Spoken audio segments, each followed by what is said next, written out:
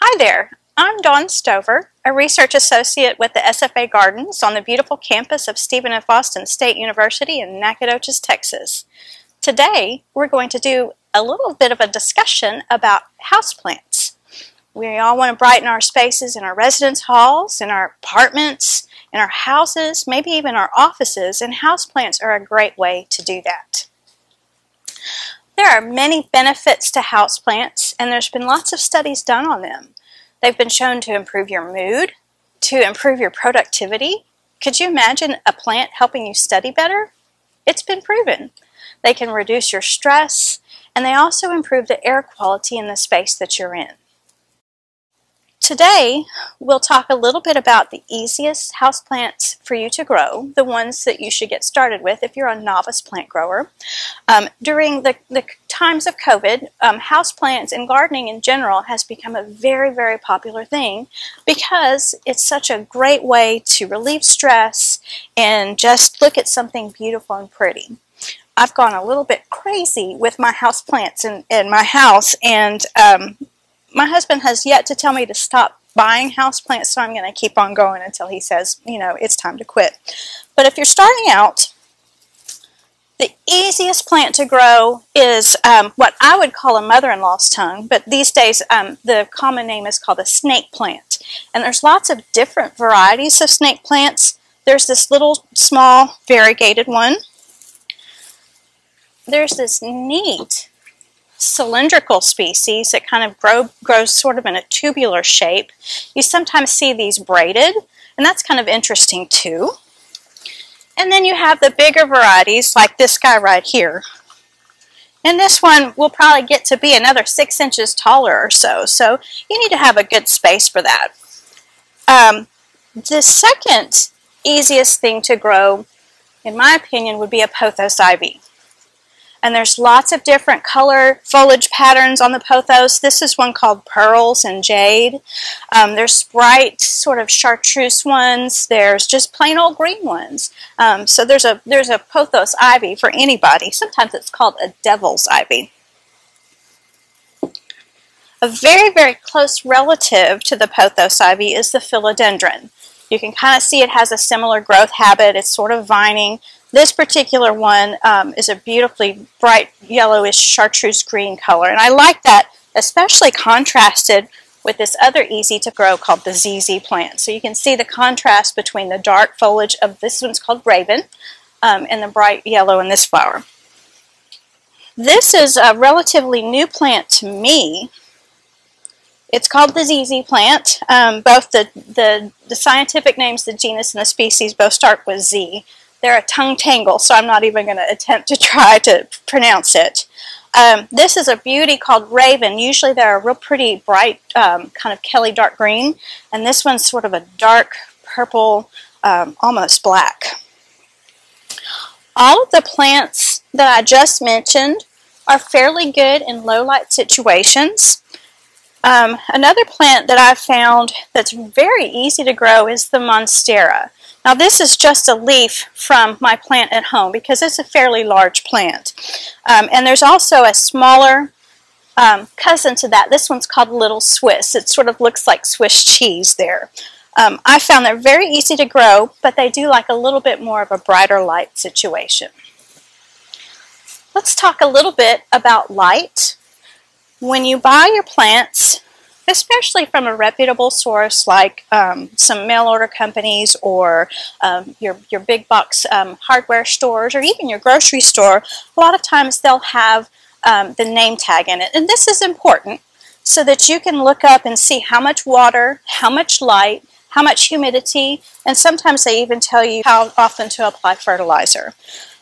The biggest thing we want to kind of keep in mind is light situations. Sometimes the plants will require low light.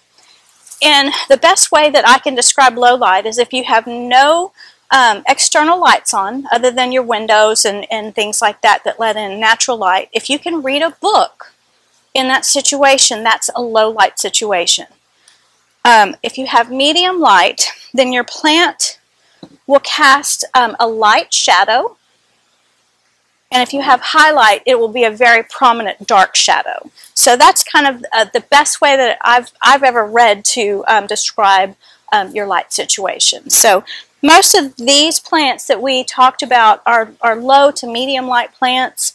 Um, I, I actually have um, a pretty highlight situation and they do well in that situation too. If you don't, if you only have one tiny little window in your residence room, your residence hall room, or if you um, have a north facing um, apartment and you don't have a lot of natural light, you can actually supplement that with um, artificial lights. Um, if you have a full spectrum LED light that you can put into any lamp or light fixture, or you can even buy um, special bulbs or special lamps created for this particular situation. So there's really no reason why you can't grow a plant in a dark situation. You just have to add a little bit of supplemental light.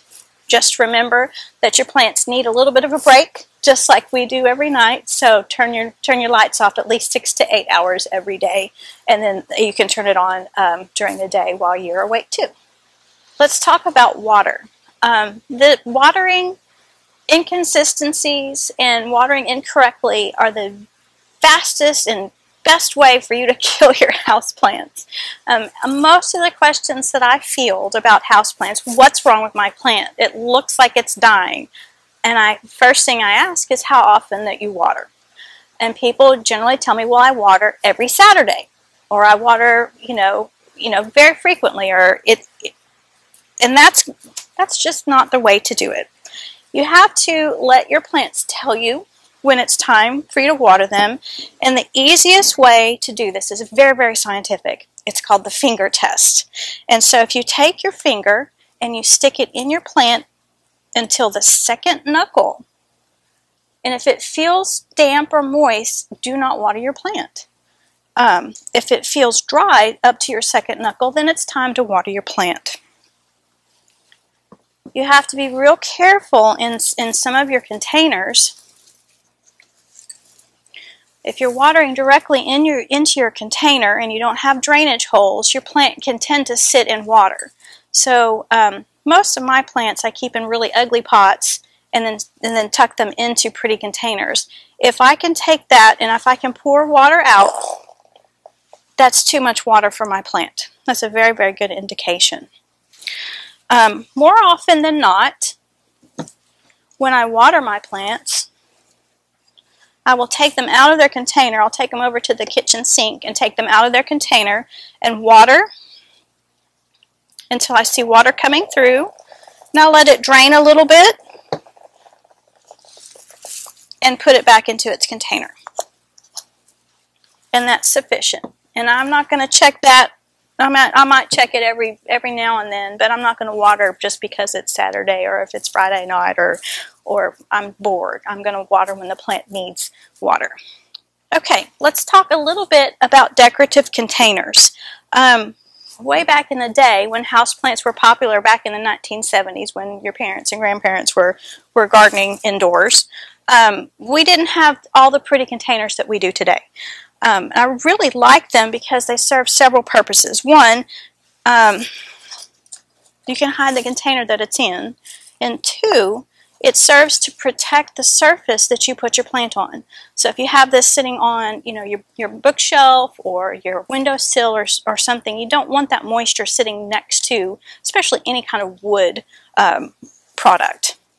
So what I like about these is that I can I can water these even if I did overwater it this container is going to hold all of that moisture in and of course then you can also use it for decorative purposes too um, making everything look pretty. If you do decide to pot your plant directly into the decorative container you have to be very careful that it has a drainage hole.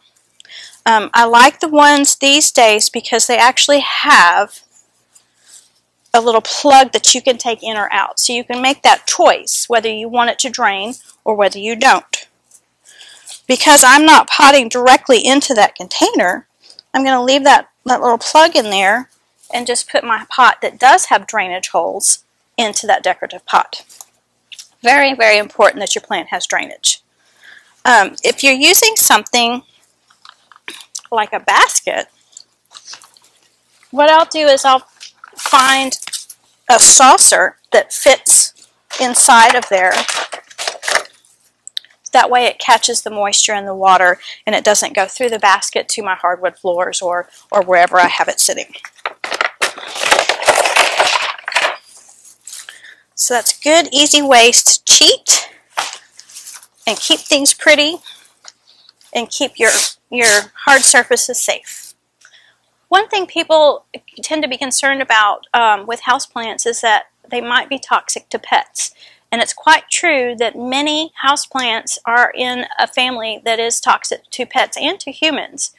If you have um, if you have pets that tend to chew on things or if you have small children that tend to put things in their mouth, um, it's really, really important that you keep up with that plant label so you know what's toxic and what's not. It may or may not say it on the label, but with that name in hand, you can go online and look up to see if things are toxic. A lot of things um, like the monstera, like the, the philodendron and the pothos ivy, if you, if you ingest them, they cause a, a great deal of irritation. It might not necessarily kill your animal, but it would um, make it sick and make it very, very uncomfortable. Um, you just have to make that decision for yourself. I have to tell you that with my crazy houseplant collection, I also have three dogs and two cats, and I don't worry about it because they're not they're not chewing on anything. If I saw signs of that, then I would just put the plants um, out of reach, or I would put them in a different room where the animals don't have access. Houseplants are actually some of the easiest plants to propagate. Um, many of them can be divided, and many of them can be um, rooted from cuttings. I took a real pretty glass um, decorative container and I took a, this is my golden pothos ivy, and I just took some stem cuttings and stuck them in the water and they've made roots for me. I like the way it looks, so I'll probably keep it in that jar for a, a while. Um, if you wanted to share it with friends, or if you wanted just to, you know, create more plants for your house, you could pot it into soil. Um, some people are a little more careful with that than I am. Um, some people like to gradually introduce the soil to the water. I go whole hog and just put it right into soil. Now, house plants might live forever, but they won't live forever in the teeny tiny pots that you purchase them in. Um, I have a really great fiddle leaf fig, and I started noticing some issues um, on the leaves, some little spots on the leaves. And so, because I know what this is, I, I saved the tag. I did some online research, and what I, I read is that I'm not consistently giving this plant enough moisture. We talked about overwatering your plants, but you can also underwater your plants. Um, really good way for you to know if your plant is needs to be transplanted is if you have to water it much more frequently than you would other plants. On here you can see that this, this soil is super, super dry. Um, it's very light colored, which means it's dried out. And you can also see that there are roots coming out of the bottom of the pot. And this is a sure sign that your plant is ready to graduate to a bigger pot. So let's talk a little bit about how to make your plants um, happy when you transplant them into bigger pots. Um, we have our fiddle leaf fig here with the roots coming out of the bottom. Now the hardest part to transplanting this is basically matching your ugly pot to fit inside your pretty pot. That's the hardest part that I have because it's hard to find nursery pots in a retail setting. Um, I found this little little two gallon size pot and it was a little too big for my decorative container that I purchased for this, so I cut the lip of that black pot down just a little bit. Now you'll notice, we talked a little bit about drainage holes earlier, you'll notice that this has good drainage holes in this, and so when I pot my plant, the water's going to drain freely out of there. And I want it to be just a little bit bigger than the plant um, that where the pot that it's currently in. If you go too big, that's oftentimes detrimental to a lot of houseplants, especially pothos ivy. If you overpot them, that's a sure way to kill them. Now I'm going to take a good um, clean potting soil. Um, I don't reuse potting soil when I'm potting fresh, um, fresh plants. Most garden centers will sell different types of soil and you can look for one that's, that's um, sold specifically for house plants. You want a lot of peat in there because peat's very uh, moisture retentive and that's kind of important for our house plants. Um, this one has a, a, little bit of bark and a little bit of perlite um, to help with drainage, um, and that's okay too. And sometimes, sometimes the soil comes charged with a little bit of fertilizer, and that's all right as well. So I'm going to put a little bit of soil in my pot, in my new pot, and then I'm going to check the depth. I don't want the top of the soil in the current pot to be sticking up above this pot of the new pot and I don't want to be sticking way way way down there. So I'm going to I'm going to kind of check it and see and continue to put the new soil in the pot until it's right about the right depth. Then here's the scary part. You've got to take it out of here. So you grab it by the by the crown right here right by the soil and you just pull it. If your pot is super, super, super root bound, destroy the pot, save the plant. Um, this one's not too terribly root bound, so I don't have to cut this part apart, and that's good. At this point, I, I want to break this root ball up just a little bit.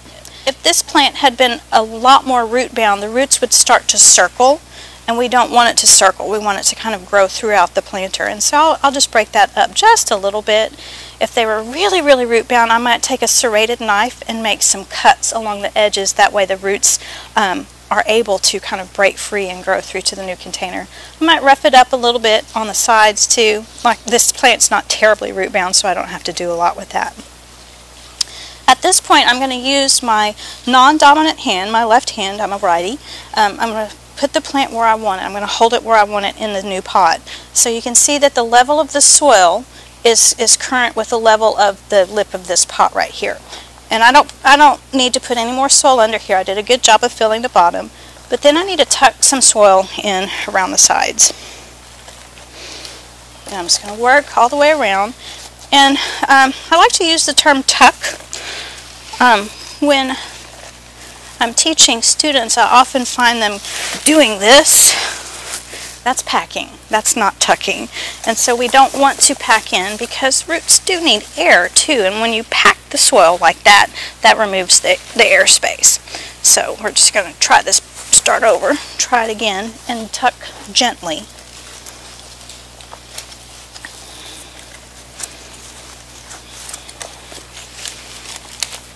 until you have a, a nice, good, even soil surface with the top of that pot. I don't want to I don't want to pile the soil up above above the lip of that pot because when you water it's just going to make a big old mess and so that's why I sort of smooth it down. Okay, at this point I would probably add a little bit of slow release fertilizer. Um, we use a brand called Osmocote. There's there's other brands on the market. There's some generic brands on the market, but um, just a general slow release fertilizer is fine. They come in little kind of like pebble-like um, granules. Um, you can also fertilize your houseplants with liquid feed. But I tend not to do that um, too often. I'll, I'll start um, fertilizing in spring, um, in summer when the plants are really actively growing. And I always dilute the recommended uh, rate of fertilizer in half for houseplants. They're not outdoors, they're not heavily respiring, um, so they don't need a real heavy food. And oftentimes I really honestly forget to feed my plants. And they'll tell you when they're hungry. They'll tell you when they start to turn a, a very light shade of green. They say, I'm, I'm hungry, you need to give me a little bit of food. But in our little fiddly fig, at this point I would take it and I would water it in really well until the, the water ran through the pot out of the drainage holes and then I'd put it in my decor decorative container and place it in my house. Feel free to visit us at the SFA Gardens from dawn until dusk, seven days a week. We're always open. We have more than 100 acres on the SFA campus of beautiful gardens and trails for you to safely, socially distance and enjoy the outdoors. So um, bring, your, bring your horticulture inside and take yourself outside and visit the horticulture here.